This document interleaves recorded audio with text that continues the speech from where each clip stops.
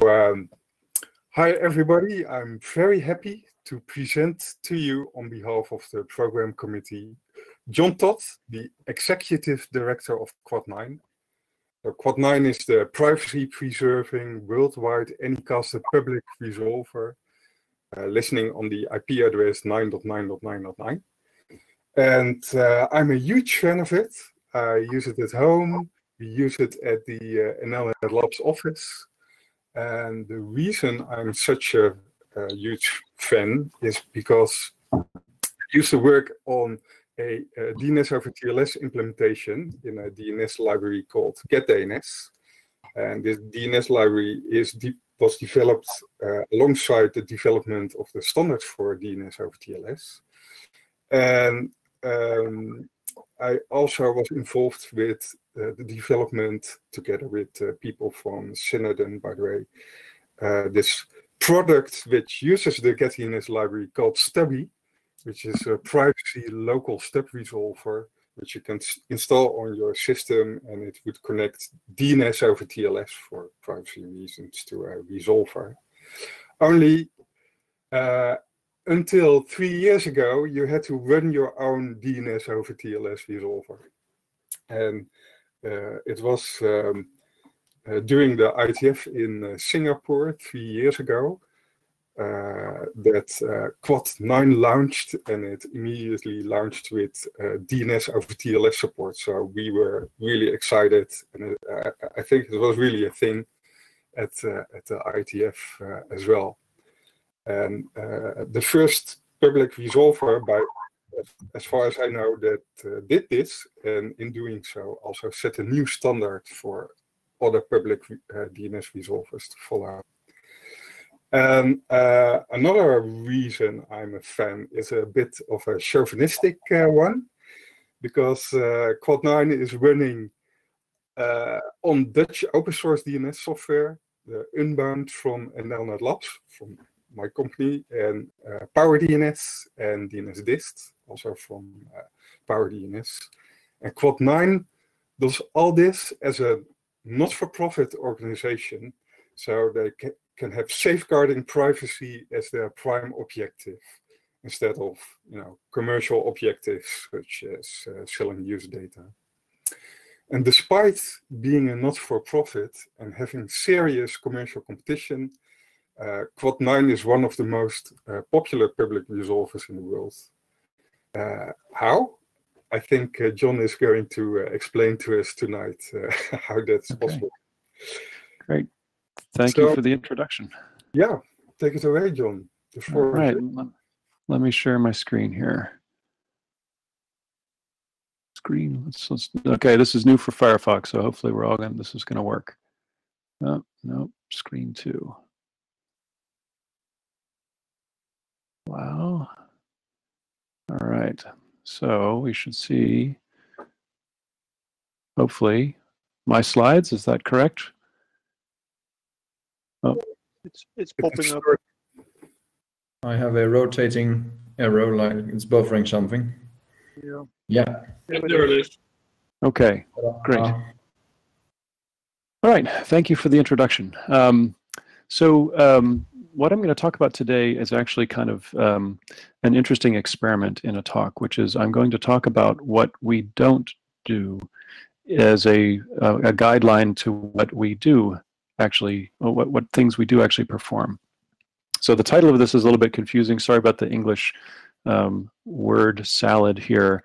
But what we said we were, uh, what I said I'm going to talk about is designing for as little as possible for as much as possible, meaning that we're going to talk about how we design for as little work uh, to deliver as much service as we can. So um, this talk is for it's a reasonably broad audience. Um, it's not as technical uh, in in a lot of the details in the slides, but I understand that, um, uh, and I will probably go into some more technical detail in the discussion components. And I welcome questions at the end that really do get into the into the very very technical components. I'm happy to answer those. But um, this is for people who are running um, uh, DNS architectures inside of ISPs um, or other large organizations such as educational government um, or any other large network operator. Um, it's for people who are interested in the policy components of the DNS currently and our decisions as to how they relate to policy. Um, it's for privacy um, advocates, you know, how can we do what we do while still maintaining privacy and uh, the security services that we offer.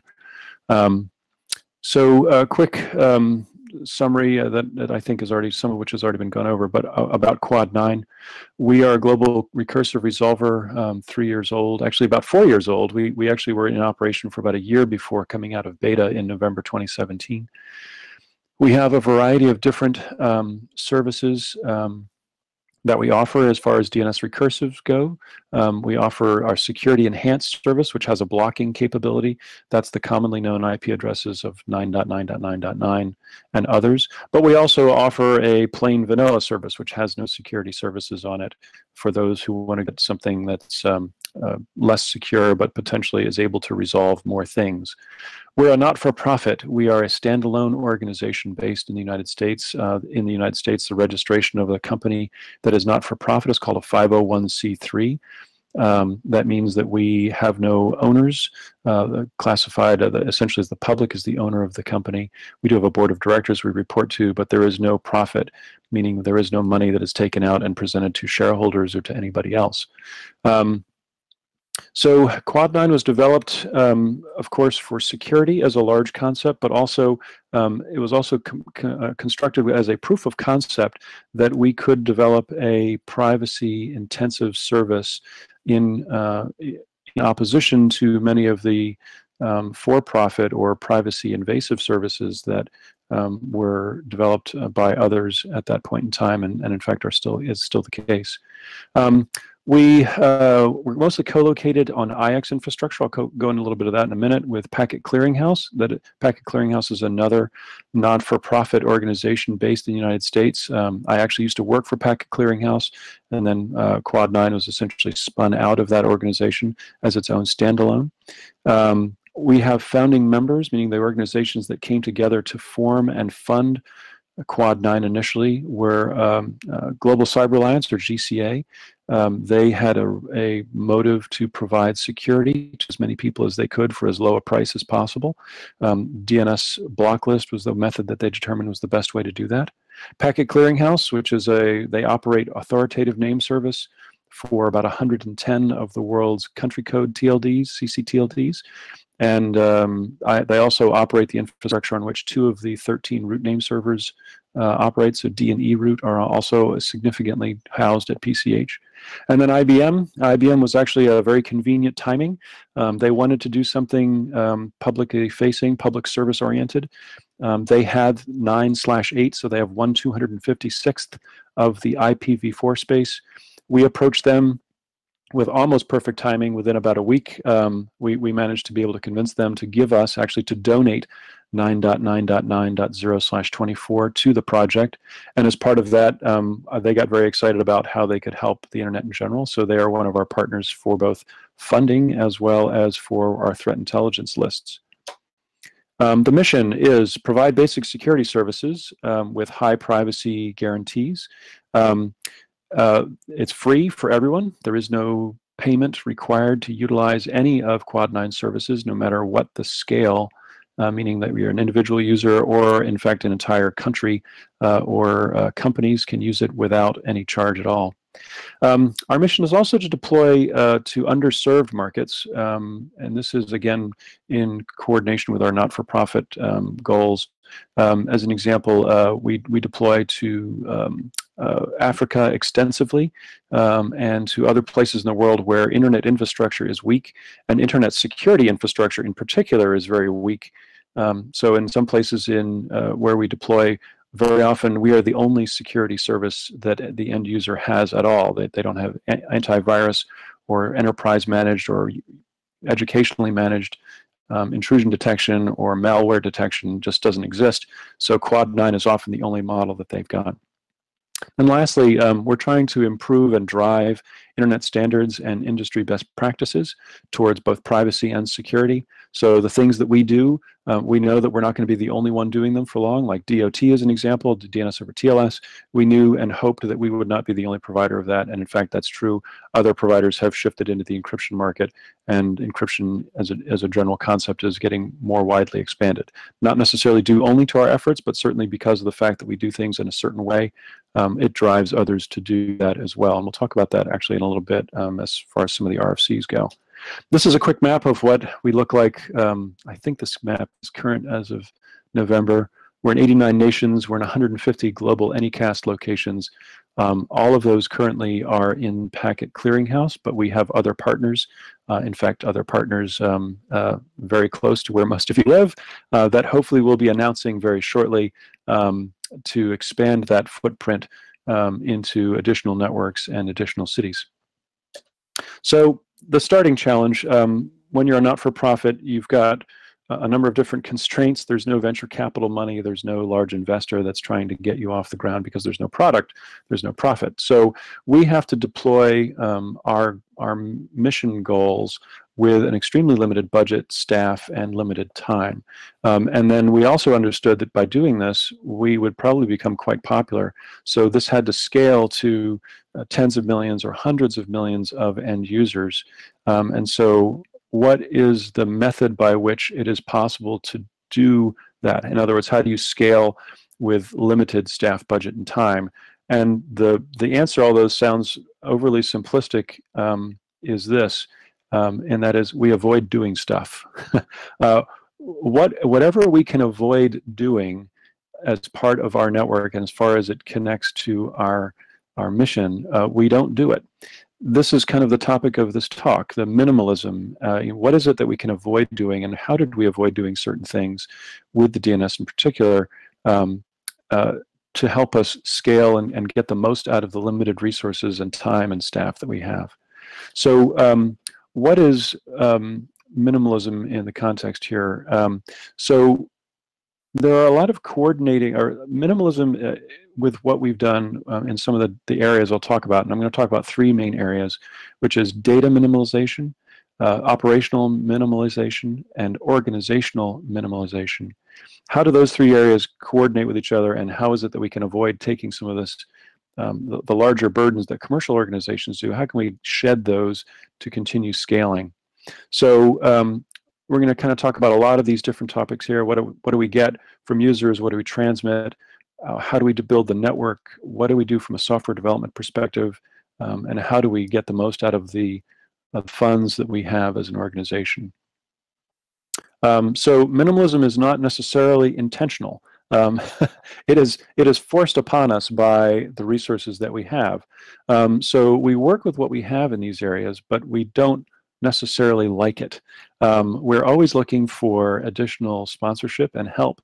Um, every dollar or every euro that we get um, is much better spent um, than you would see in, I think, a lot of other um, uh, well, certainly better than in a commercial project where you've got someone making money off of it.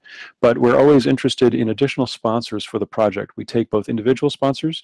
Um, we've got a donate button on our webpage. I'll pitch that a little bit here. But we also are more interested in organizational sponsors who are interested in helping us with large scale, both uh, capital infusions as well as uh, resource infusions. Um, so anybody's got ideas on that or if you have some insights, um, talk to me after the uh, pre presentation. So the first thing I'll go into is data minimalism, meaning the concept of what is it that we do for um, keeping as little data as possible. And then why. Uh, this guides so many of our other decisions, uh, both as our as our um, operational minimalism as well as um, product minimalization. Because really, data minimizing is the is the first thing we want to talk about.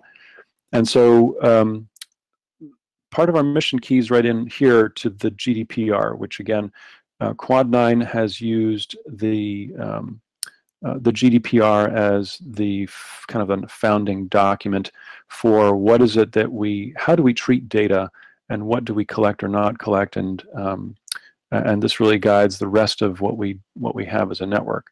So with a goal of privacy, um, it becomes possible to match our data minimization strategy with the construction of the technical requirements. Um, the GDPR gives us good guidance as to what is considered private data. So from that kind of flows downhill all of the other things that we don't store. Uh, the question is, is DNS private data? Um, so for from our perspective, if you have access to the IP address of the query or any other way to correlate the query with a natural person, then, then we say, yes, DNS is private data. So that drives um, kind of the core underlying component of data minimalization, which then drives a lot of the other components. And here it is, and that is, if we don't log the private data, then we don't have to worry about private data. So our answer for managing to work within the scope of the GDPR and anything hopefully that is um, similarly constrictive for data is that we simply don't log the data. We, we, we throw IP addresses away um, the moment we get them or the moment we've answered a query. Now, there are some callouts for that, and I'll go into that in a minute, but the, the, the lack of logging eliminates a huge number of things that we would have to worry about that would drive the technical requirements. This is very much an intentional minimization strategy. And since we don't have private data, um, we can eliminate a large number of things that are uh, typically associated with it. So um, it allows us to minimize our network design. Our DNS software implementation has to be very generic. It doesn't have to have a lot of extensions.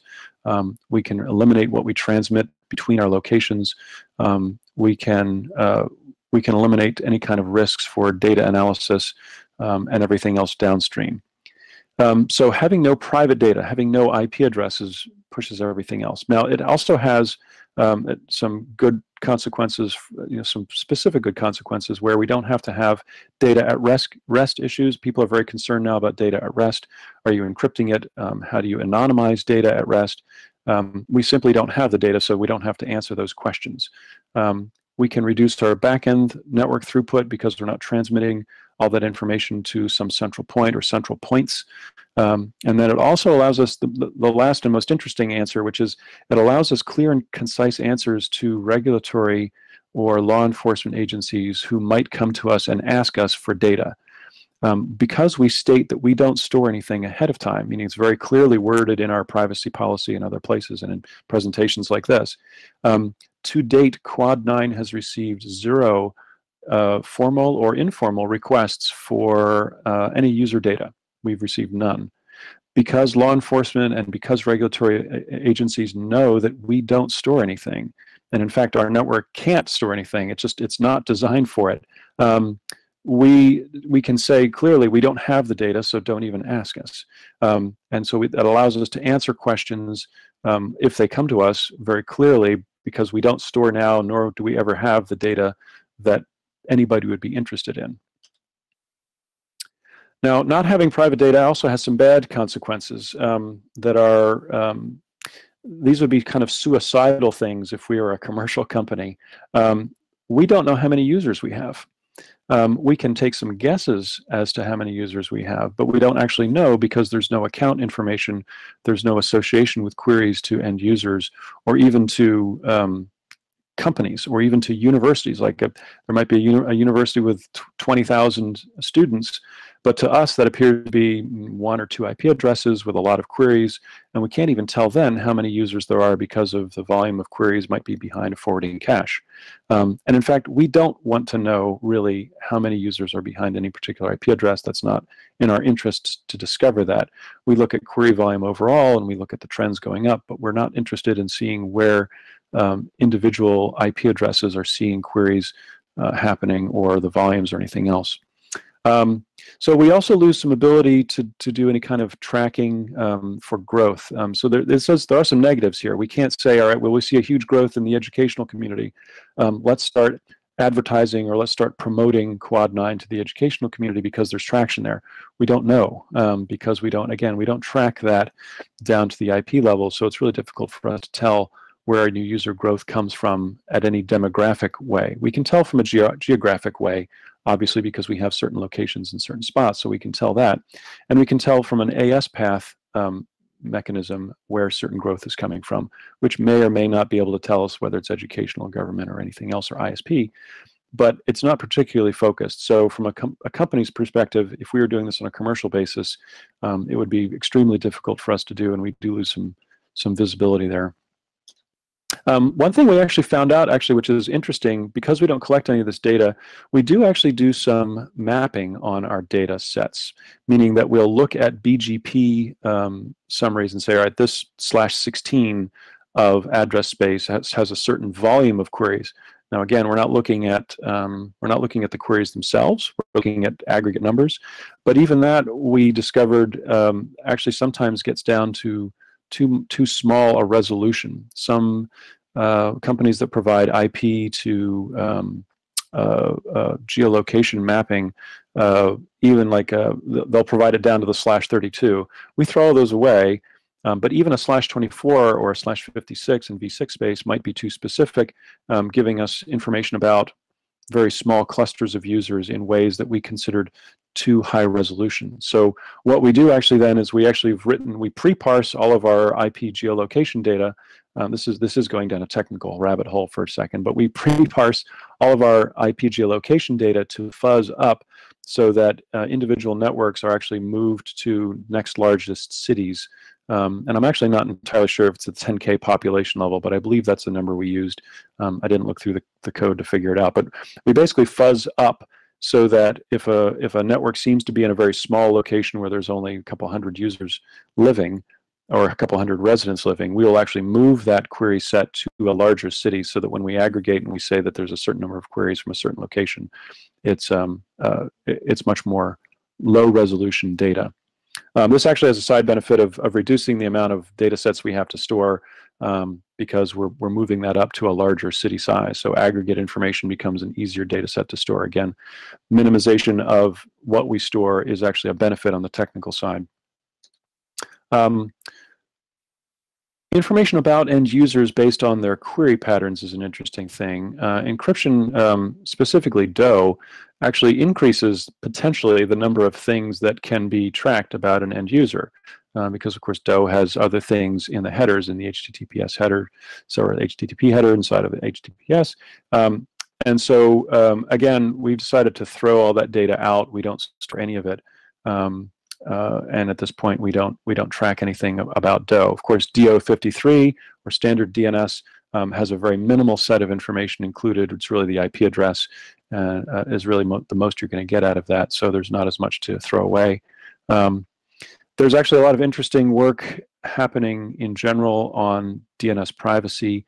Um, there's the EDDI, which is the encrypted DNS uh, working group. Sorry, that's not a working group. An encrypted DNS conference that happens every week. If you have an interest in that, I'd take a look at it.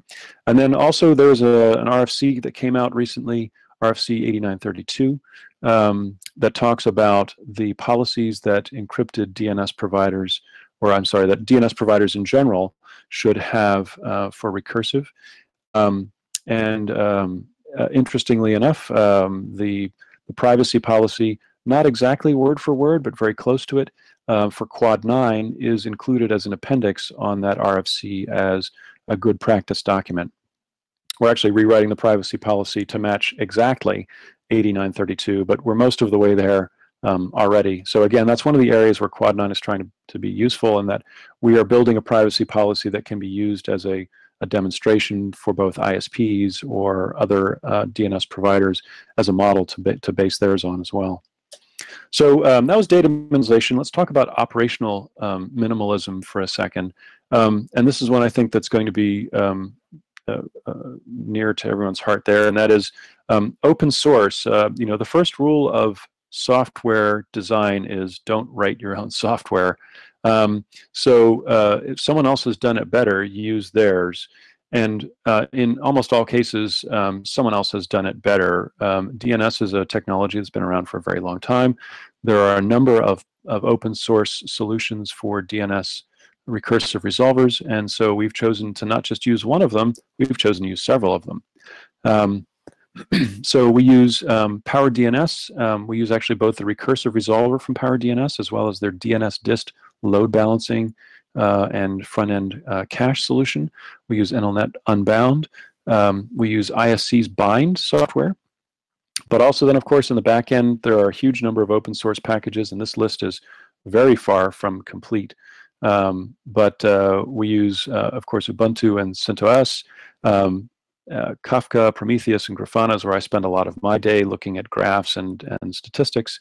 Um, uh, our entire stack, um, I th think with the exception of the uh, uh, Atlassian suite, which we use for trouble ticketing, um, uh, is uh, is open source. So all the all the systems that are deployed in the field that are actually at each location, they're entirely open source.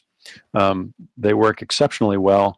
Um, we've had very few problems with um, any of the open source platforms, and we work closely with open source um, developers to both repair bugs, make suggestions as far as what we would like to see to make things scale better, and also provide just general feedback on how the software is working, um, as we're one of the largest deployments um, that is publicly able to say how things are going.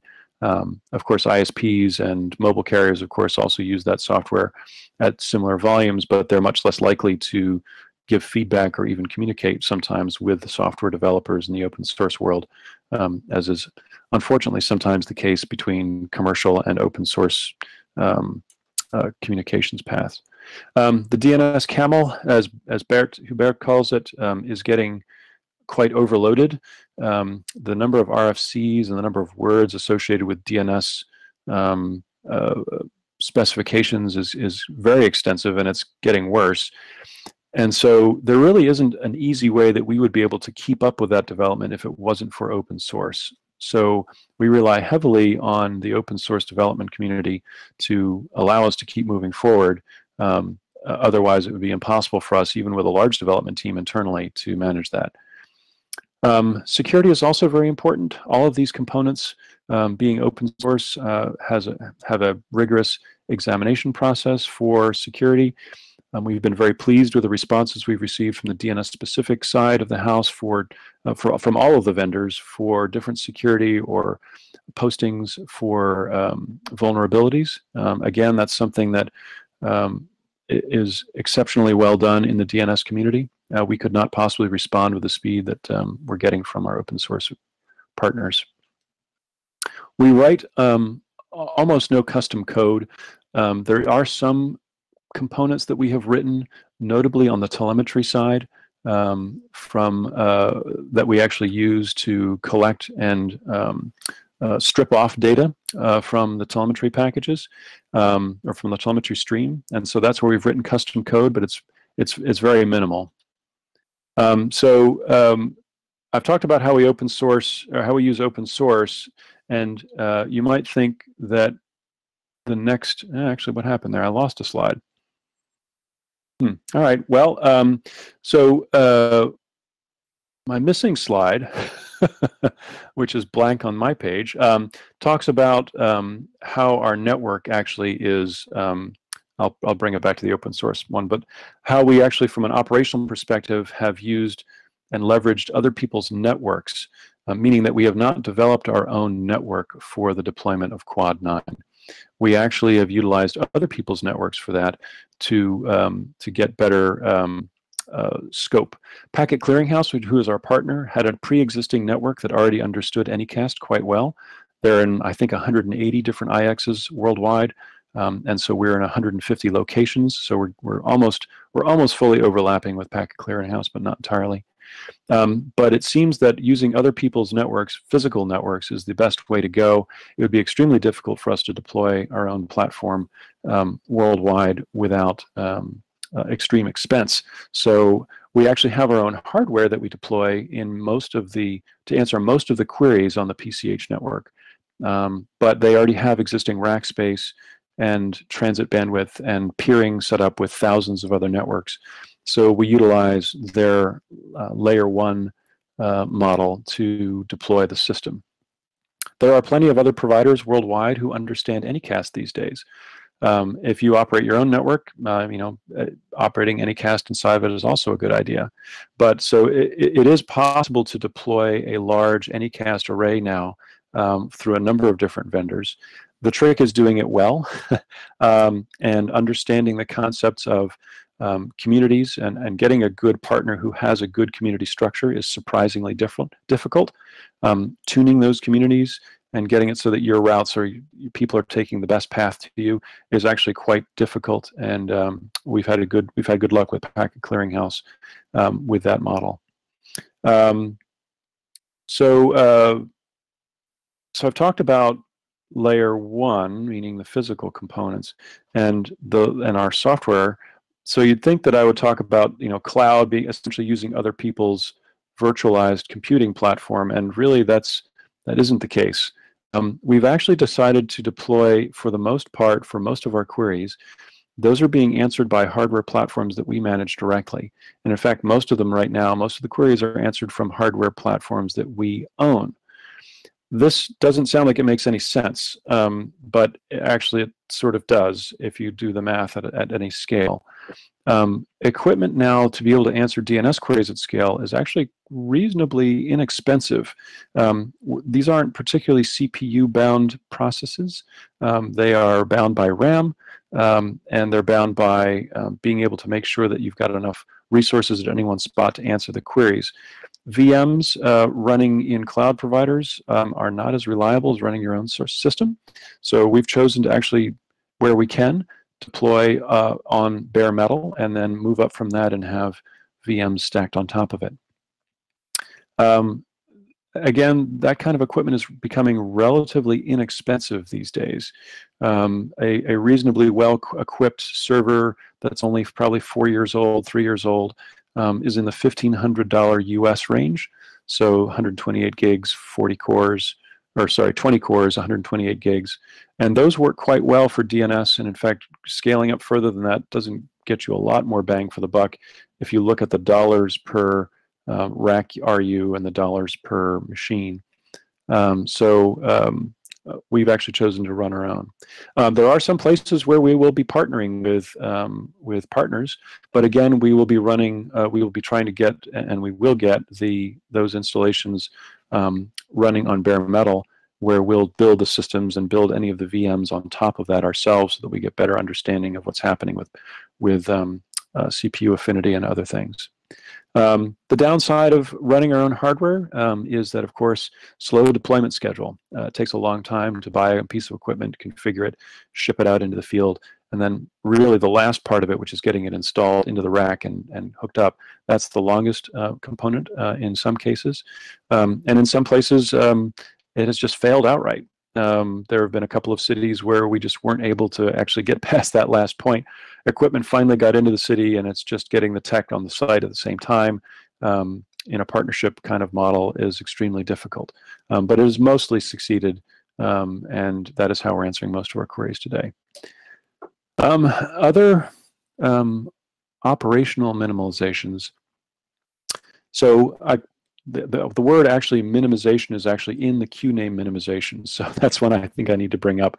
QName minimization means that instead of sending fully constructed or full domain queries all the way out to the roots in certain circumstances, um, we actually are operating in a condition where we're actually stripping off and sending only the parts of the zone to the DNS operators who need to see it. Um, this is good in that it, it improves privacy for end users. Uh, there's no leakage of full um, query data to the roots, which don't actually need to see that. Um, there's a slight downside to that in that root operators lose potentially some visibility um, for their statistics, but uh, I think everyone at this point has agreed that that's not a, that's not a horrible thing. Um, and then also we've participated in some of the DNS flag days, which are um, minimizations of complexity on the software side. This again gets to our, our goal of creating standards and best common practices. Um, DNS flag days uh, strive to work with both the DNS software providers as well as DNS operators such as Quad9 and others to stop making exceptions. Um, DNS has accrued a large number of exceptions where people, uh, software providers, uh, will work around certain broken things in the DNS. Uh, certain people have broken authoritatives, certain people have broken recursives, and everybody tries to manage to come up with some way to work around the flaws that are not RFC compliant. uh, of the other person's software, and that starts to add a lot of complexity to everyone's uh, development efforts. So the DNS flag days, in, in, general, the goal is to remove those those workarounds and be more strict to the RFCs, and we've participated in that as well.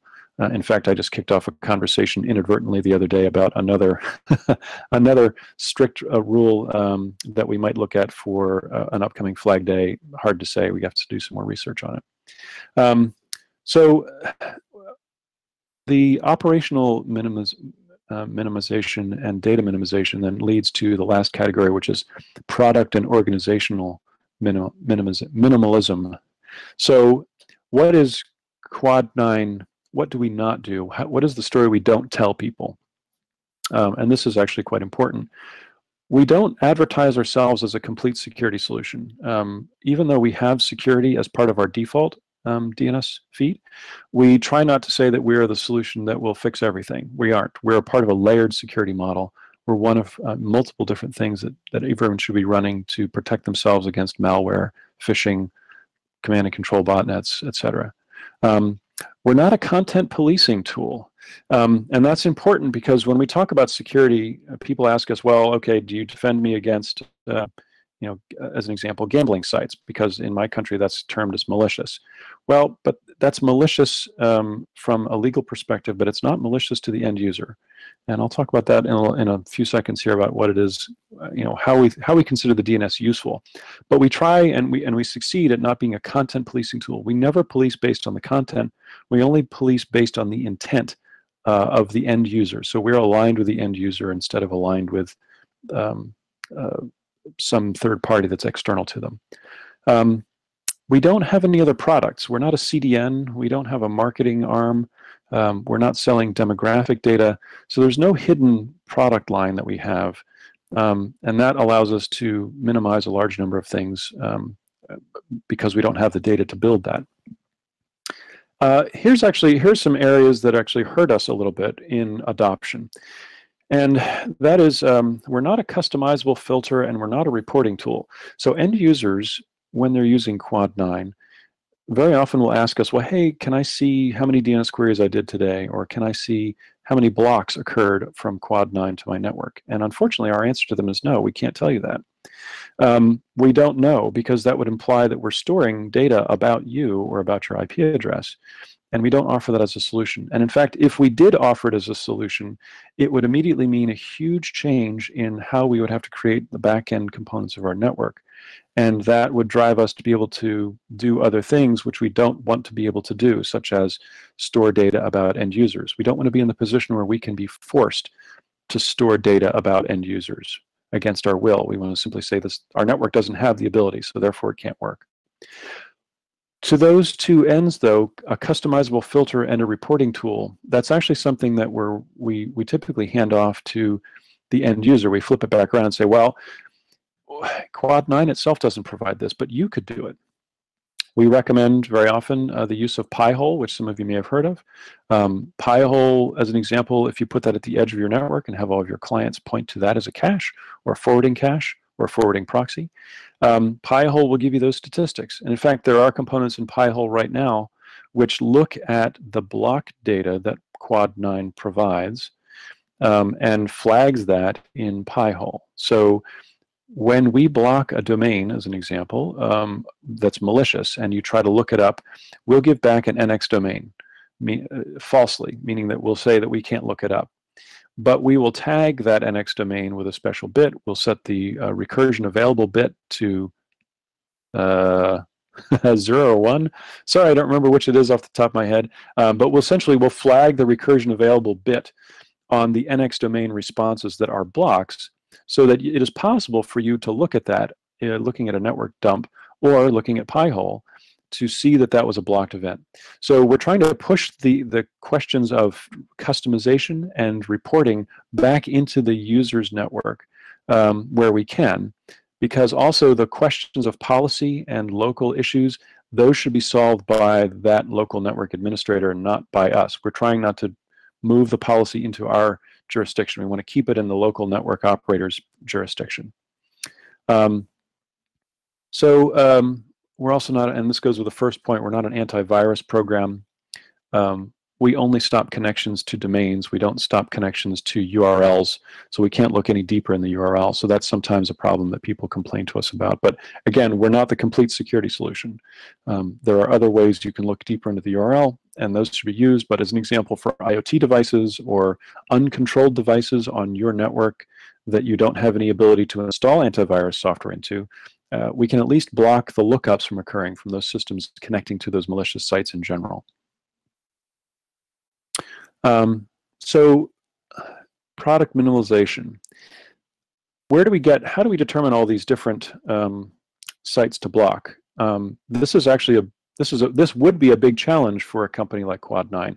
How do we determine what it is we're trying to provide security against? And so we have opted out of that business. Um, so we utilize 20 different providers, around 20 different providers right now both open as well as closed source providers, where we get block data, domain data from them um, that we embed into our DNS feed. Um, this is a really difficult set of um, analysis to perform, and uh, really you need to have a company and you need to have a set of researchers and algorithms that do this kind of for a living to be able to determine um, how to how to do it correctly. Um, so we didn't look deeply at the blocking data. In fact, we do not look deeply at the blocking data. Our job is not to compare our providers against each other.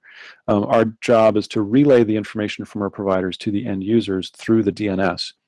Now, we give our providers some information back in the opposite direction. So the, the next question I always get is, well, why do these folks give this to you for free? Because we give them information about those domains in the opposite direction. If a company, let's say IBM, gives us uh, a domain, you know, baddomain.com, we embed it in the DNS feed, uh, and then every time someone goes to a baddomain.com DNS lookup, we will send in near real time us basically a ping back to IBM saying somebody in this rough geography, you know, someone in London, tried to look up this domain name at this time. Now, we don't give any information about the client uh, IP address, so that's privacy is still maintained.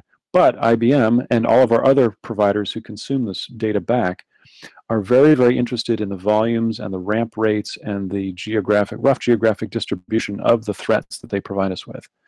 So this helps them improve their feed that they give to us. Um, this also, in turn, and we're fine with this, this helps them sell their threat data to their commercial customers that's that's their prerogative, and we're we're happy to do that, as long as it continues to mean that we get high quality data that they're giving to us. So we tried not to actually get into that business. In fact, we did not get into the business of looking at threats themselves. We rely on our threat intelligence partners, partners to give that to us. And to date, that's been an amazingly productive relationship. We're getting extremely high quality feeds. Um, we're blocking around 60 million per day events, um, and some days we've gone up to 140 million different malware or phishing sites that we've blocked our end users from connecting to. That number fluctuates significantly based on time of year. Um, the holidays picking up, we're going to see a lot. We're going to see an increase in the number of blocks. Um, COVID actually created a large number of blocks for us when there were initially huge numbers of fraud sites. Um, I expect that the same is going to happen now with vaccine sites. We're going to see a pickup in those. Um, but then also certain campaigns, um, certain malware campaigns pick up that will bump our numbers by many percentage points in a day um, based on whatever that happens to be. So the net of this is that we don't want to be in the threat intelligence business. We want to be in the threat intelligence relay business, and that's worked very, very well from us. From our perspective, we do DNS. We don't do threat analysis. Um, and then um, frankly, uh, the last thing here on the slide is the product minimalization for both threat intelligence, filtering, reporting. Most of our users, most of the end users, don't really care like they about the features. They care about the benefits, but they don't care about the features. DNS is kind of something that disappears into the background. It just always needs to work. And the fact that it's protecting them against certain things is great, but most people don't really care. Um, enterprise operators care, um, but most other people don't care. So by the fact that we don't have these tools hasn't really cost us a lot of um, user attraction. Um, again, product minimalization the last thing here, and I talked about this a little bit with Pi-hole, and I kind of maybe went out of order a bit. We don't actually want to answer your queries. We don't want to answer anybody's queries. The fewer queries we answer, the better. That doesn't mean we don't want to operate, but it means that we want to encourage caching forwarders at the edge of organizations. We only want to answer the first query about something who's got a, and hopefully has a long TTL, but this improves a bunch of different things. It improves the ability for us to answer larger scale as we push these things out into the edge, or as we encourage people to push things out into the edge, it means that our central network can be can scale much larger. Instead of taking every single user and bringing them into our network, we want to push that to the edge. I'll talk about DoH in a second and how that isn't really a that, that model is sort of broken with DoH. Um, but by not getting queries from end users and in fact having them sent to the network operator, the local network operator, that improves user privacy and anonymity. Um, it allows the local network operator to apply policy. Um, uh, go away. Whoops, sorry about that. Um, and then uh, it improves latency and performance. Um, having those cached answers locally, of course, you know, if you're one millisecond away from your local cache and you're 10 milliseconds away from Quad 9, you've just cut off 90% of your latency because most of your users are going to be asking for very similar things. Um, it also allows local encryption. Um, we also promote people using things like dnsdist. Um, you know, we're not infallible. Quad 9 in some cities, um, sometimes certain IP addresses might be unavailable due to uh, local routing problems. We see this quite frequently where people don't route things correctly to us inside of their ISP. Um, but in some cases, we undergo attacks, which may make things slow. Using something like dnsdist inside your network allows you to spread that load or share it based on failures or, or other local network conditions. So again, we don't want to be the answer. We don't want to be the sole DNS provider on the internet. We want to be one of them, and we want to provide good security and privacy. Um, letting users always have an always-on DNS service is very important to us. So we are not um, we're not promoting ourselves as the uh, as the ultimate solution for everything. We understand that um, we are one service of many that people potentially can use. Um, so um, policy minimization is another one. Um, I've talked about this a little bit where we've said because we don't have data, we can avoid entanglements with local policymakers, meaning um, regulatory in, uh, environments that uh, we can say we don't have data, therefore we don't, we're not a target for requests of it. We've also avoided jurisdictions um, where we are compelled to provide logging of personal data. Currently, um, and this, this of course is on a country by country basis, but over-the-top DNS is currently not or there hasn't been much case law, and I won't, I'll say not, not none, but there hasn't been much case law that describes over-the-top DNS as a regulated service. We're not an email platform, so in other words, there's no there's no data. We are purely metadata, and it's actually pure. It's actually pretty poor metadata. So um, we've avoided entanglements where some carriers couldn't. Um, as an example, ISPs in some places need to log all data, all metadata about their end users because they are considered a regulated, a regulated entity. Um, Quad 9 to date uh, is not a regulated entity because we don't have any of that additional information, nor do we know who our users are, nor can we know who our users are. So again, we've avoided some regulatory entanglement by simply minimizing the number of offerings that we have to something extremely thin. Um, last thing on my minimization uh, here is that we minimize credit. Um, we don't have uh, we don't have a contract. We don't have costs associated with our uh, our service. Most users don't even know they're using Quad 9, um, and that's the case mostly with most DNS. But we don't want credit for what we do. Um, at, at least at the end user's perspective. There's there's a saying in English that's that says there's no limit to what can be accomplished if it doesn't matter who gets the credit.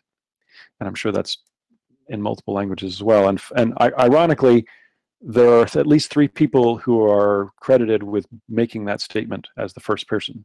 Um, so it, it's true and even uh, self-referentially. Um, but this is our most important minimization strategy in that we want to provide protection and privacy without people even needing to know we exist. Um, and we hope that that model extends not just for our own service, but then extends to other um, DNS providers, internet service providers, et cetera, that they will provide these same protections, both security protections as well as privacy protections, um, using us as a template. Um, so thanks for listening to me talk about the things we didn't do. Um, I want to talk one more quickly about something that we believe is important, um, and that is DNS filtering and how we apply it. So this is an important model here that most people don't get, and that is DNS filter filtering is an ineffective censorship tool when imposed on the unwilling. People who want to get to some site um, and who find that DNS doesn't work for them, they will find a way around it. So you have to look at the motivations of the end user. This is why we don't censor. This is why we're strongly opposed to using DNS as a censorship medium. Um, it is actually used as censorship in many nations currently. Um, it is both effective and probably counter uh, counter to the goals of whoever it is that's trying to impose those rules. It, it forces people underground. Um, DNS is extremely effective as a security tool for people who want it, uh, where you basically have cooperative um, implementation between the network operator and the end user. Um, so, uh, you know, I'm not sure how this fits into my talk completely, but DoH is one of the things that we're worried about, um, kind of breaks some of these models. Um, and that's a very long story about DoH. And you know, we actually offer DNS over HTTPS as a service. Um, we're not uh, particularly enamored of DNS over HTTPS because it creates conditions that make the user and the network operator um, it puts them in opposition to each other. And that's not something we believe is a long-term strategy that is effective um, uh, and, and may in fact have unintended consequences to the opposite goals of those who want to remain private. Um, so, um, and I can probably answer more about that as we go along uh, in the question session. I know I'm at I'm about 45 minutes here. Um, I've got um, some main points here, and that is um, avoid doing things, avoid doing stuff if you're deploying a privacy or security um, uh, based service that's DNS oriented. Um, here are all the things to not do. Um, and uh, if you're running a DNS service or if you're running an enterprise uh, edge resolver, you know, don't log things, don't write your own software, leverage other people's work, leverage other people's networks, leverage other people's hardware that's used even um, if you're looking to do this inexpensively. Um, don't try to make things uh, too complicated. Uh, use other people's threat lists if you can get them, if you want to implement them on your own. So here's a bonus slide I threw in, and I'll only talk for another minute here. Here's where we failed. Um, here's where minimization didn't work for us. Um, because I think it's important to call out where things don't work as well as where they do. Um, mobile devices make things really difficult. Uh, inserting um, a DNS, a different DNS resolver into mobile devices has traditionally been extremely difficult. So we, we had, for Android as an example, we had to write an app that does that, and that when you write an app, then you start to add other things into the app, and it starts to become more complex. Um, so the app, as an example that we offer, has um, it actually detects when a block occurs, and it has pop-up windows, and it has all these other things good features, don't get me wrong, but minimization of minimization did not occur there. Um, in fact, we keep looking at how do we add features into the mobile app to make it more useful. Um, that is an area where we had to become um, less minimalistic. Um, marketing, um, minimization is not a good strategy for marketing. Um, word of mouth works very well, but we probably would do well if we were having uh, a much better and more aggressive marketing strategy that, of course, then becomes more complicated. The DNS resolution stack, we, I said earlier that we implemented all, or not all, we implemented three of the different um, DNS recursive resolvers, so Unbound, PowerDNS, and um, Bind. And we found that if we only implemented one, that put us at a significant risk for software stack failures, which would create outage situations. So we had to add complexity to the network in order to be able to distribute to those three different packages. And so uh, we now have to keep track of three different software stacks for recursive resolution. Um, this has actually saved us on a number of occasions where a problem with one stack um, isn't reflected in the other, um, or what I'll call not even a problem, but certainly a, a, an interpretation of RFCs is different in one than the other. And because of the fact that we more or less randomly distribute queries, very often we'll get the right answer even though half of our or a third of our stack is not answering um, with a, a, desired outcome. Um, we have different flavors of DNS resolution. Um, so 9.9.9.9 it has both security and uh, encryption and everything else on top of it. We had some people who wanted to have no security, so we added 9.9.9.10. By the way, there are secondary IP addresses for all of these, but I won't in both v4 and v6, but I won't go into all of them. Uh, you can look at our website for those. So 99910 has no block list on it, and in fact has also no DNSSEC. Then some people said, well, I'm getting the wrong answers from Quad 9. I'm in I'm in Spain and I'm getting, when I look up um, example.com, I'm getting a server that's being deployed in the United States. The CDN is giving me a server that's deployed in the United States. All right, so there's something called um, ECS, um, EDNS Client Subnet. Um, it's actually a privacy leak, but some people need that to get the appropriate server. So now we have 9.9.9.11 um, which has security and ECS, meaning that people consciously have to choose to leak that data. But again, you can see how growing, adding these different services, we're adding bits to the choice model, and this is getting pretty big.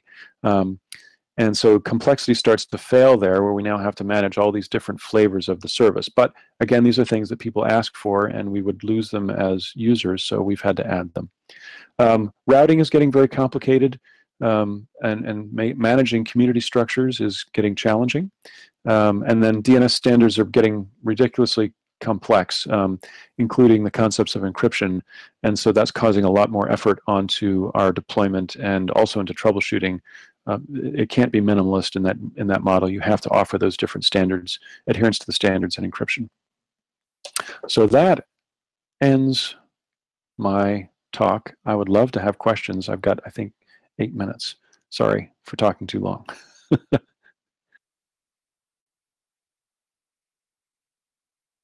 Do I have to give this back? Uh, no, I shouldn't. Okay. Okay. All right. Uh, thank you for your time. If you just unmute, you can talk. Yeah, thank you, uh, John. I uh, it was very educational, also uh, for me.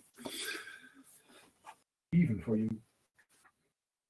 Uh, so, so could you explain a little bit uh, more how the with uh, DNS over HTTPS, how it the user uh, is uh, intention or uh, what, how did you put it? Sure. To the operator, operator. Right. So um, DNS over HTTPS is encryption protocol, and we, we actually we're all for encryption. That that's that's not to be misinterpreted. But the way that DNS over HTTPS is being implemented creates a condition uh, where currently, uh, and I'll I'll use I'll use both an enterprise uh, case and I'll also use a national level case to describe the, the challenge. There are enterprise operators today, many of them, uh, who use DNS as a method to block connections to malicious sites, and that's just like Quad Nine does, right? There are there are people who who have a DNS server that they operate at their at their company, and they look at different DNS and they use that to block threats. Um, so so far so good. But what happens when the browser without even the user's knowledge, and this is an important component, or without the user's active participation. When the browser starts to connect to a DNS resolver that is outside of the enterprise network to resolve domains that then might deliver to that to that user malicious content. So now the network operator is considering that a, a risk. They're saying, well, wait a minute, I, you know, encrypted DNS is a risk to my network because these are still my, my users on my network and I'm responsible for them. But I now no longer have the ability to control to what sites they're connecting, whether that's for whatever policy that's associated with is irrelevant. You know, the network operator owns the network and the users on that network have to comply with that policy. It could be for good or it could be for ill. But an enterprise network is the clearest case where the DNS over HTTPS does a couple of things. One is that it moves the DNS transaction now to a distant resolver, like Quad9 even, um, instead of being answered locally. So you've got a speed issue, you've got a policy issue, um, and that's a challenge. The network operator at that point will consider DO, DOH as a threat, and but they have no way to block it because it's on port 443, looking like any other HTTPS traffic. And so their response may be either to give up and say, well, I, there's nothing I can do here. uh, each user now is, is on their own. Or their response will be something along the lines of, well, since I no longer can control, even at this minimal level, the DNS or my, my basic security model is no longer in control for unmanaged devices. Um, therefore, I will prevent access to the internet and I will create a set of proxies and that the only way you are able to get access to the internet is to force all traffic through the proxy, which unwraps everything, uh, therefore removing privacy, even in the most minimal case, from end users. Um, that same model can be applied to national level censorship, and that's what's most concerning. We look at countries like China currently, where um, denial of service to entire IP address ranges is is forbidden. Access to things like Quad 9 is forbidden. If more clever algorithms are developed to hide um, control methods through existing protocols like DoH, then my belief is that we will see those entire protocol methods denied and even more privacy invasive methods applied to user data in order for the network operator to enforce their will upon the end user. So that's the short form. I love DoH as a as an encryption protocol. I'm very very worried about its long-term implications because it creates this this condition where the end user their goals are opposed to the network operator. Um, the the DNS provider this this this distant um, system really is not has no stake in the game, right? Yeah. I it's really you're you're creating conditions where you're you're creating a conflict and ultimately the people who own the network or who have the guns are going to win that battle and I'm worried that that how that's going to work out for end users. Right, I understand. It's like an arms race, but the countermeasure of things that you didn't want to kind yes. of. Now, now the, the difference with DoH and DOT is very, very small, but it is important. And that is that DOT has its own port number. And if you're a network operator, you could block that port number. Uh, and in theory, that blocks DOT. And therefore, you're going to force your users to go to some other solution that remains, that gives them visibility. DoH in, arguably and intentionally um, is embedded in a different protocol, therefore is invisible. So it creates this this fight between the end user and the network operator. Whereas DOT, at least we can say, well, if you want to block DOT, if you want to block this method, block this port.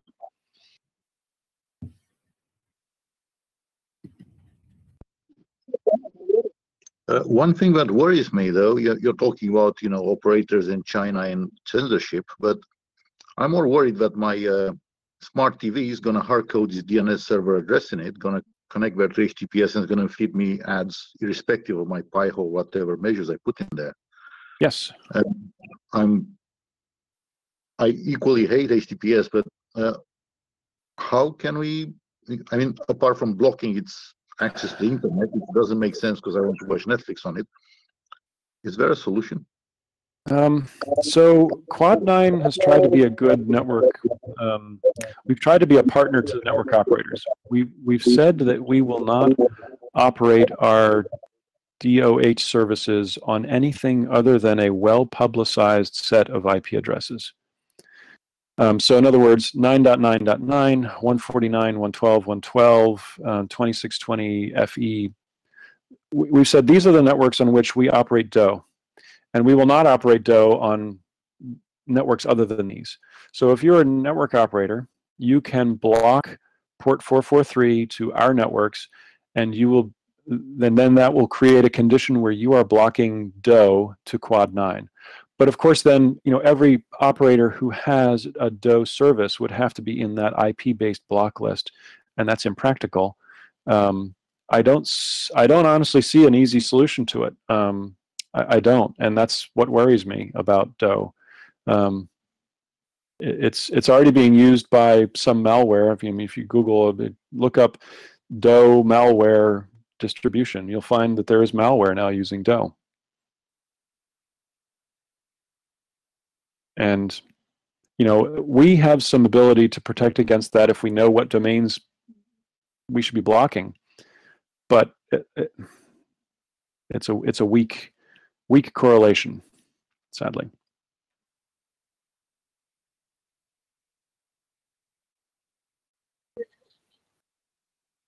So, John, do you think that DoH should be offered uh, everywhere or just by a limited set of providers? Hmm. So my, I think that the DoH, to use the saying, the cat is out of the bag with DoH. There's no, there's no way of solving this problem universally. I think that provider, local providers, should offer a DoH solution on their own network, and that there is work currently at the IETF for DoH discovery so a device, when it when it gets a DHCP address, how do we bootstrap finding the local network provided DoH server? I think that that's the first step. Then I think the second thing to do is to to create a best common practice um, for centralized or I'll, I won't even say centralized, just over the top DNS providers like Quad9, like Google, like Cloudflare, it would be interesting to see potentially a BCP about how we announce or how we declare what endpoints will have DoH operating on them so that network operators could create, as an example, very easy filter lists that prevent connecting to commonly used over-the-top providers. I'm not sure if that's a solution, but it's the it's the one that's come to mind the most, uh, the first. That's the first thing I've thought about. Um, there's a lot more discussion that has to happen here. Discovery, I think, is a big issue. How do devices discover their DoH endpoints? Um, that's yet to be really worked out completely, and that I think is the key component. But there'll always be services that just just ignore that, and that, that they go and use whatever DoH server they're going to want to look at, and that's mostly going to be malware. Um, arguably, that malware could have used HTTPS in some different not a, a, protocol other than DoH, it could have used some encrypted port to get its command and control structures. Um, and that DoH is simply making this a formal method.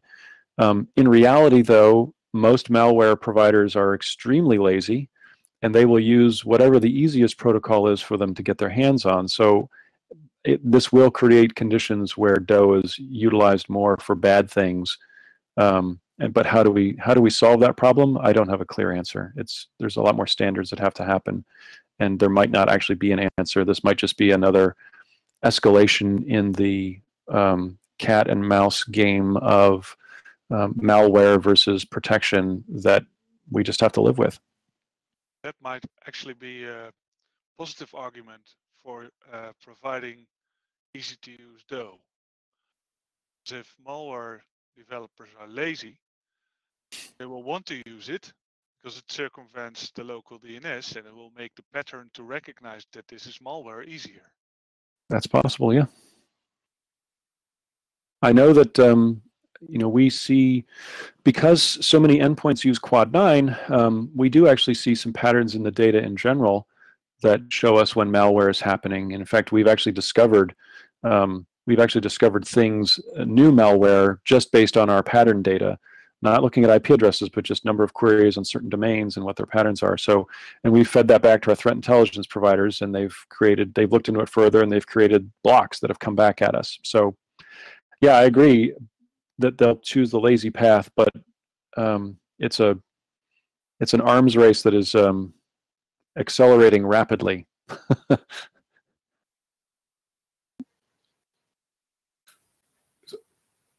so, uh, John, uh, what I'd like to know what's your stance on Oblivious DoH? Um, I it's a it's an interesting concept. I actually kind of like it because it removes the IP address entirely. But I'm I'm I can't say you know we will probably participate in Oblivious DoH as a as an endpoint. We just have to get to that point.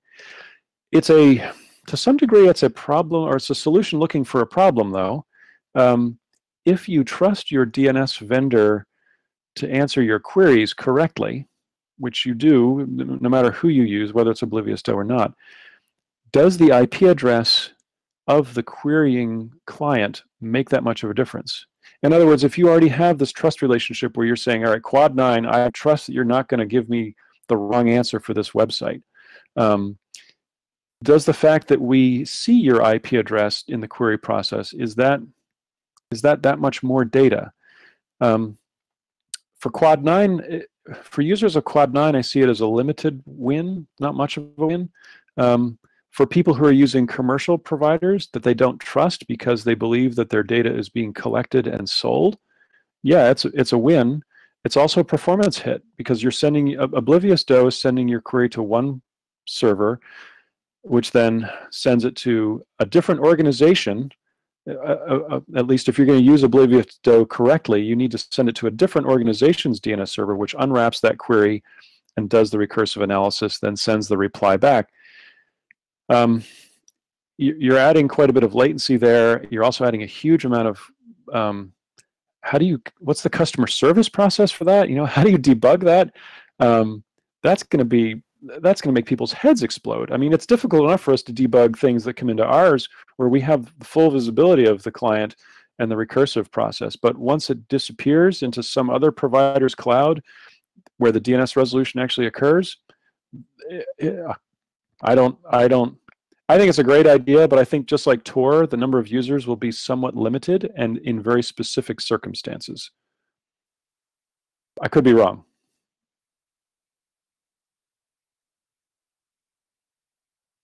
You're muted there.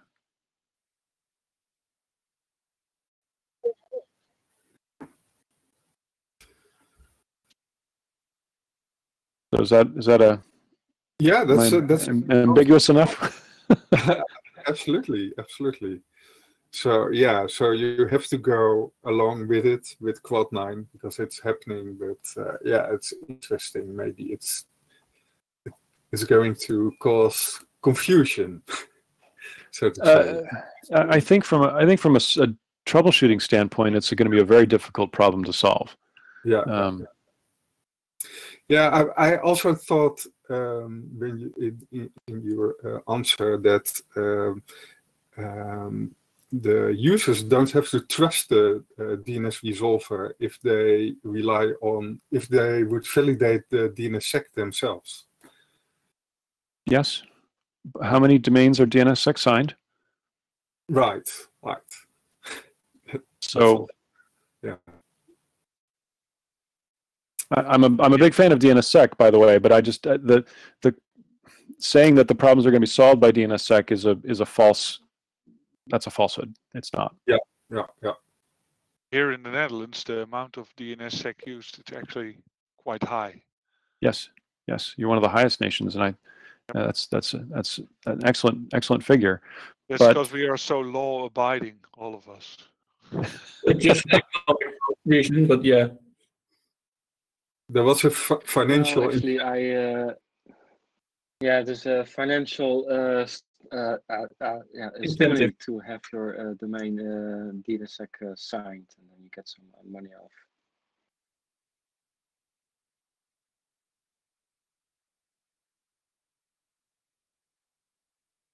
Uh, and by the way, we, we of course are DNSSEC validating and have been since launch. So that's good. We've seen the number of DNSSEC failures dropping significantly in the last three years. We used to get quite a few. We would have to create what are called uh, NTAs or negative trust anchors, which is basically an ex it's an exclusion uh, for DNSSEC where some people were so broken that we would they said they had DNSSEC, but then it never worked, so we'd have to exclude them. That the number of those domains is extremely small now. Um, I think it's still some U.S. government domains and some Canadian government domains and some Brazilian government domains that don't work correctly, but almost almost everything else DNSSEC just works. That's a good sign. That means that DNSSEC signing software is improving too. Yes. Because it's not easy, right, DNSSEC to um, compare to uh, non-DNSSEC. Yeah. Um, yeah, so I, I didn't know that uh, Quad9 was also doing uh, EDNS client subnet. That that was new to me. The so 11. Yeah. Yeah, we haven't haven't really officially made a, a large scale announcement of that yet because there are still there are still challenges with ECS. Um, notably, um, Akamai uh, doesn't accept our ECS because um, that's a very long story. Because we allow because we have so many forwarding um, caches sending data to us, like big ISPs sending data to us, we will allow them to set their own ECS. So because we, we would only ever see the IP address of their of their resolver. So they might have a country of you know a large country full of clients. So we allow ISPs to set ECS data towards us. That then means we send that data to the authoritatives. Um, Akamai's current rules prohibit that. Um, they require that the recursive resolver, meaning Quad9, would overwrite any ECS coming from our customers and insert the IP address of the um, of the of wh whoever it is we see the query coming from. So, in other words, their recursive resolver. Um, we think that that's counter to our uh, we don't want to override the rules, the, the, wishes of our customers, which is that they want to set their ECS to be whatever their clients are. So um, we kind of have a, we, there was a little bit of a stalemate with Akamai, and we're working with them so that we can potentially change the way that we uh, that we deal with ECS to make them happy. So in other words, if you're using ECS, it works for everybody other than Akamai. but since Akamai is one of the largest consumers of ECS, we haven't made the announcement yet because we don't want to have people saying, well, you use ECS, but it doesn't work. Okay. It's not our fault that it doesn't work. It's just that they're not accepting it. Right. Yeah, but but um, but how can you tell if it's not if it's not uh, sent if the ECS EDNS client subnet is sent by the resolver in, uh, who is sending to Quad9 or set by Quad9 itself? It's it's it's purely a policy question. Um, okay. So they Akamai knows that we don't do it because they can test, right? They can they can use Quad nine and set it to whatever they want. Um, so they have not they have not whitelisted our IP addresses yet, but I think we have a solution that might work out. But it's it's and I won't go into the details because it's long and drawn out. But I think we have a way that we can create a policy and a technical solution that answers those questions. So we do offer ECS; it does work um, but don't expect it to work to 100% of destinations. We we've kind of you know ECS is a is a longer story there. I mean I'm not a I'm also not a big fan of ECS because I think it's it's kind of a kind of a hack. Um, we have 150 locations. Um, that should be close enough. I know it isn't. Um, you know, if you're on an ISP in a, in a certain city, you have your own caches inside your ISP. Um, but the the use of um, query data to direct clients to content seems to be the wrong place to do it. Um, and I won't I won't even say it seems to be the wrong place to do it. It is the wrong place to do it. Um, that should be done at the connection layer when you actually create a socket to the origin. Um, the origin should say, "Oh, I now I see your IP address," and it should redirect you to the closest content through whatever you know higher layer mechanisms you have. But using the metadata to do that, uh, especially when the, the metadata is known to be so inaccurate, um, is it's not a it's not a very good solution in my opinion. But but here we are, right? We've been ECS has been around now for a number of years, both pre-standard and standardized, um, and it's it's here to stay for some time. Um, notably, um, you know, we, we don't like ECS, but we recognize some people asked for it. There are entire providers who aren't doing ECS at all. Um, Cloudflare, as an example, doesn't do ECS ever. From uh, oh, I shouldn't say that. They don't do ECS in general. I think they have some ECS solutions. I can't speak to them to their network, but I'm pleased to see that people are not as also unhappy with ECS as we are. We don't really really like it. It also consumes huge amounts of memory on the recursive resolvers because we don't just have to remember one answer now. We have to remember that one answer for every single subnet that asks about it. So yeah, yeah. yeah it's very complex. Yeah, I, I believe Cloudflare uh, also has experimental uh, DNS over TLS uh, relationships with some authoritative and they do have this with uh, the authoritative service from Facebook. And I do believe that they do do ECS, that they even have this in a blog post uh, over these uh, DOT uh, relations to Facebook. Right. That, that's that, that kind of that's we like to be consistent with how we deal with everyone, um, yeah. meaning the data that we give or do not give out to authoritative providers must be consistent for all Quad 9 destinations. Um, so that, that type of relationship would make us a little bit nervous because it um, that has a tendency to expand and become much more difficult from a policy and explanation perspective to end users. If you have yeah. to explain it, if you have to explain individual exceptions, um, it, it, starts to erode your your your goals of privacy. Right, right. Okay. So uh, yeah, by the way, um, yeah, what you said about uh, running different uh, DNS softwares for uh, robustness, that's actually how uh, NLNet Labs started. Uh, because the uh, RIPE NCC, they needed a second product next to Bind because of a bug in Bind. Right? and they asked uh, NLNet if they could uh, create such a product. And uh, so that's how NSD emerged. So for, for robustness, it's, it's better to have different software because there are different bugs in all the different software. Yep. Oh, yep. and by the way, on your slide, one one last comment.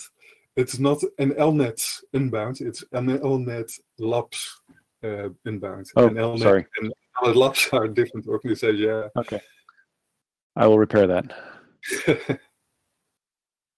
okay, so you know, if anyone else uh, has questions for John, then uh, I guess now would be a good time.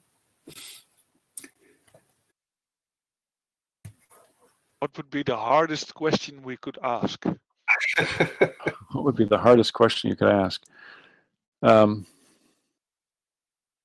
the hardest question that we have to face right now is how do we measure our performance? That's a tough one. With an Anycast service, being able to measure performance becomes an extremely subjective thing. Um, questions like uptime and and performance from whose perspective? Um, from what you know from what number of users affected by an issue? Is it geography? Um, is it protocol? Um, the when you get to a network of a certain scale or service of a, of a certain scale the the most difficult questions become those of um, measurement and then action based on the measurement and that's the, that's the situation we're in now is that how do we how do we measure from as many endpoints as possible um, our performance? And how do we measure changes? Because we're constantly changing the network both software wise as well as routing. Um, and that's a real challenge. Um, and so that's something we have to we have to address more. Yeah. Uh, maybe i can uh, chime in on uh, here uh, by any chance, are your services uh, being uh, monitored actively by either uh, RIPE uh, NCC uh, DNSMON or uh, RIPE NCC uh, RIPESET? Atlas, I mean? Yes, there is an Atlas test that occurs now once a week. Actually, I don't know if it's been accelerated, Willem. I, I don't know where that stands, um, but I know that um, there is a set right now that monitors all of and from all RIPE Atlas probes um, does query tests to Quad9. I don't know the the I don't know the test number off the top of my head, but I'm sure you can search for 9.9.9.9. Yeah, yeah. Uh, it's a very long time ago, but but I um, used to work on uh, the DNSMON uh, project, and uh, we did in that time list uh, all the uh, TLD and CC TLD operators. There wasn't such a thing as these uh, um, novelty DNS platforms, so to say. But but I think they they should be uh, eligible to be Mono 2 in that uh, that uh, platform. I would I would very much like any more monitoring than we can get. Um, and I think the important thing is also being able to discuss with the people building the monitors um, what it is they're being what it is they're building. Um, we find some unusual patterns. Um, there are some commercial um, organizations that do resolver monitoring, um, and they typically show Quad 9 very poorly in their statistics because we don't operate in the same low budget colo shops or VM shops that they do. Um, we operate almost all of our infrastructure is located at IXs, which is where we think the best connectivity is for um, eyeballs, you know, end users. Whereas a lot of the test points that some of the commercial monitoring systems use are located in VM hosting shops, which is maybe where some of the other open resolvers are located as well. So they have very good statistics, but they may be very distant from the actual end users. So there's a little bit of a skew there. Um, also, looking at just talking about monitoring and failures in monitoring, Quad 9 um, does not create, we, we don't actually have our own uh, network announcements. We don't have our own slash 24 networks at each pop. We occupy network space from uh, whoever our local transit provider is. This means, uh, to, to sum this up, it means that when people are looking at statistics worldwide and saying, well, these are the biggest recursive resolvers because we saw requests from this AS to our authoritatives. Um, very often, Quad 9 is not counted in those because we appear to be coming from, you know, 120 or so different origin ASs that are not they're not listed as Quad 9 because we don't use a full network. We don't waste a whole slash 24 in each pop. We use whatever network space we're given. So the size of Quad 9 is often, from a monitoring perspective, is often underestimated because it looks just like an ISP or a hundred more, a hundred or more ISPs resolver addresses because it's not associated with our name in any way. So that's another interesting challenge. But again, uh, getting back to that credit thing, we don't care that we get credit. The you know showing up as you know the world's largest DNS resolver is not our project plan. Um, we're okay as long as we see end users getting, you know, the number of users is increasing, or the number of queries is increasing, the number of blocks is increasing. Um, that that lets us know we're doing the right thing. Still, it would be nice to have a, a fair representation if you're measuring resolvers. So it would, yes. would, be nice if you could have uh, publish uh, the list of uh, IP addresses uh, in use. Yeah. We to date we haven't published it because again they're not our IP addresses, and we're concerned that that may do that may create an, an attractive nuisance for someone who wants to try to attack the back end network that we have. Um, it, it, may be the case that we just have to forego that and publish the list. Um, we've been giving out the list to CDN providers and researchers who ask for it, or researchers that we think are useful. Um, we've been I actually I send it to them in email, and we have an updated version that we keep uh, sending out every once in a while. So there is a list, um, but it's not publicly accessible, and so sometimes that means the research researchers don't find it um, while they're creating their tools.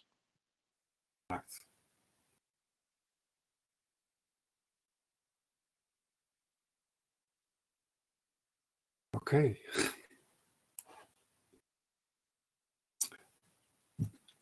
So no no more questions, people? No? Okay. I think the most uh, difficult uh, question would be should uh, DNS be a, a, platform or a service? Both. Both. you know the the and that's it. But that's a good question. I mean, we we we encourage people to make it to run their own DNS server on their premises because they we want to give them the local policy control, visibility, latency, all these other good things. But the the the heavy lifting work that we do, which is security, right? Blending these 20 different uh, security providers, handling um, the latest um, flaws in in DNS recursive lookups, um, managing encryption, those kind of things. That's actually kind of hard to do, and there are not many organizations are big enough to have somebody who's an expert enough in DNS to provide that. So, and that's that's evident, right? Google now is whatever it is, depending on who you listen to or what what numbers you look at. They make 10 between 10 and 20 percent of the world's recursive DNS is done through Google because that's just easy. People don't have to think about it. So there's an there's clearly an issue that people don't want to do their own DNS. Um, so the the service model is one that's that's attractive. Um, so instead of just letting people go to a commercial service provider who's got different um, reasons for doing it, um, we're there as an option to both give them some security and keep privacy.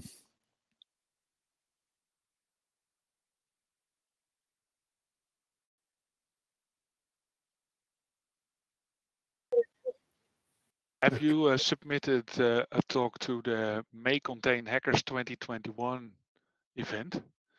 I have not. Oh, you should consider that. Okay. It will be one of the first events that will take place during the pandemic because we have enough space to keep 20 meters apart for every of the 3,000 visitors. Is it being held outside? Can you send me a link to that? Yeah, I will. I'll send it via email uh, to you. Fine. Thank you.